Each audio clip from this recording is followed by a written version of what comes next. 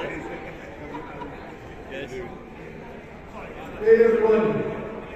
You see the neighborhood to the conference so park. Just a reminder, track one over here, track two over here. You're flip-flopping. Feels right better to do odds on track one, evens on track two.